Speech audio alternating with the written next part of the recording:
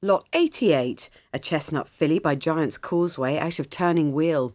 The Group 3 winner, Turning Wheel, is a daughter of Seeking the Gold and is already the dam of the Group 3 place Rallying Cry and the listed place trio Carina, Imago Mundi and Atlantic Swing. Turning Wheel is a half sister to the listed winners Space Cruiser and the sire Minds Music. This is also the family of the Group 3 winner and Group 1 place Pash Attack. Lot 88, a chestnut filly by Giant's Causeway, out of Turning Wheel, consigned by Mocklers Hill.